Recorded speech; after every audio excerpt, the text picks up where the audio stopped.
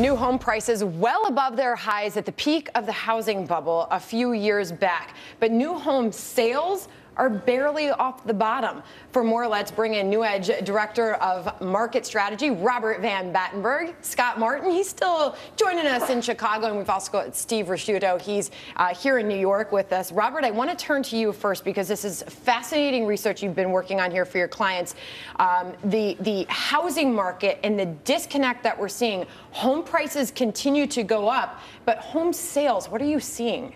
Well, I, I, th I, think the big, one of the big problems in the U.S. economy today is, is that you have a widening income inequality. Uh, in fact, uh, there was research done recently by, I think, uh, University of Berkeley that said that the income inequality in the United States is now higher than it was in 1929. This is after the Roaring Twenties and the robber barons and what have you not. I mean, this is a big problem. Also because, you know, the, the American dream is that, you know, when the tide rises, all boats go up. So the, the, the folks at the lower end of the income scale, their uh, incomes are rising as well. And the rich, the, the, the happy few, they will see their income but disproportionately the, the, the, poor benefit more. Now, in this kind of an environment, since 2008, incomes have gone down by 10% for, for, for, for the 90% of the people, while the, yeah. you know, the, the, the 1% is uh, living the high life. And, and, and that's a great point. I know that we've got a chart that's going to reflect this. The fact that new home sales today are dominated by expensive homes, right. really painting the picture of that income inequality that you described. Exactly. So uh, here know, it is. If you want to describe what's the, happening. The cheapest homes, right? The homes below two hundred thousand uh, dollars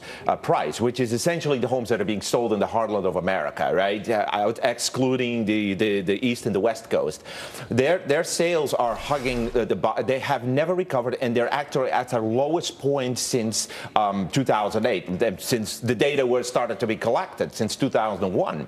I mean, this is incredible stuff. Not a single improvement. In fact, the sales are down year over year. And this is not just new home sales, but also existing home sales. If you look at the chart here, and, and, and you know, uh, uh, the existing latest existing yeah. home sales report shows that this, uh, the homes uh, at the price of below 150,000 are down almost 20% year over year. So the poor, the, the lower income group, they're not buying homes. They're getting out of their homes. So I want to get Stephen in here because as you're saying all this critical information. Steve, you're over here nodding your head. Well, I mean, it's exactly true what's happening. We, we, created an economy in which the share of national income going to the corporate sector, which then gets transmitted indirectly to, to the wealthier class, is rising rapidly. And we've never seen this level of activity taking place in this transition. It's a huge transfer of wealth that's taking place. And part of it comes down to this concept of double digit return performance. We've created an economy where people are trying to get double digit returns in a single digit world. And the easiest way to do that is to keep incomes down down and keep employment down, transfer the money over into earnings, drop it to the bottom line, and then redistribute it through activist shareholders to the upper class uh, that's taking place in the economy. That transition of wealth is being reflected in the housing data. It's also being reflected in the employment data. The interesting thing about the employment numbers that have come out in the last year or so is the fact that we're hiring more people 55 plus than we're hiring people right out of college. Mm. And the reason for that is A, skill sets aren't that much different, to be honest with you, from a technology labor. standpoint. And the reality is those 55 plusers are just dying to get to retirement age. They need to make back all the money that's been lost to them, and they're willing to take the extra hours, take the extra time, and they have no social life, to be honest with you. So it's easier to hire them. So, Robert, what, what's going to give when you look at this data and, and the fact that home prices continue to skyrocket like this? What's going to give? Well, of course, eventually home prices will have to readjust. I mean, the problem with rising home prices is, is that they're skewed right now because but if you look at average or median, since there are more homes that are being sold disproportionately at the higher end, you know, these home prices are reflective of where the most of the activity is. Yeah. But, you know, I think this is the bigger problem here. Uh, you know, to Steve's point, I mean, when you look at the jobs numbers as well, I mean, the vast majority of people being hired today are temporary workers. A bank is not going to issue a mortgage to a temporary worker. It's, it's struggling to actually, and uh, yeah. more important, to, to, uh, even equally important to that is the government support is getting out of the market. FHA, FHFA, they're retreating from the market. GSE reform is around the corner. So uh, to me, the housing market looks more like you know, more, it, it's going to deteriorate from here, then some sort of a miraculous improvement that I don't can see any catalyst I knew it. I knew Robert was going to come in and get everybody riled up. Scott, you're trying to jump in from Chicago. Sandra, no, that I, I am. He's, he's, he's flowing. But here, he brought up the big, the big point. The banks aren't lending to that middle market anymore. At least they don't want to. Has anybody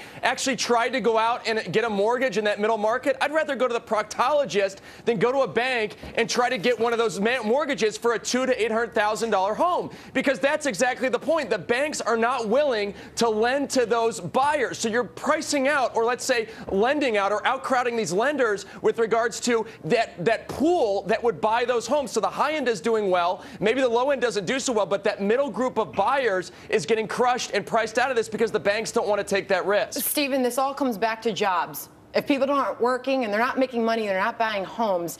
Your forecast for the jobs report tomorrow.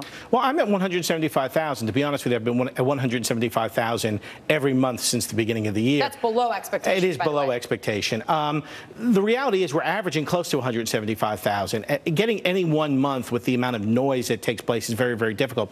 But we're not going to be accelerating above it. You've got an economy that's running at about 2%. That's going to give you about 150, 175,000 workers per month. That's it. And uh, could you have an uptick in any one month? Yes, but it'll be balanced off by a downtick in the next month. Kind of like the third quarter GDP number was outsized at 4.1%.